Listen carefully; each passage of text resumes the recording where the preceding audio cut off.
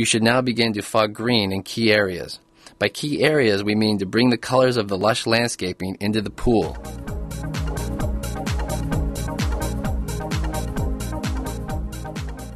You will fog in the green where green plants are present. We are utilizing a reflective technique. These plants will reflect off the water, and we want that same quality on our rockwork. It won't reflect off the rockwork, so we paint it in.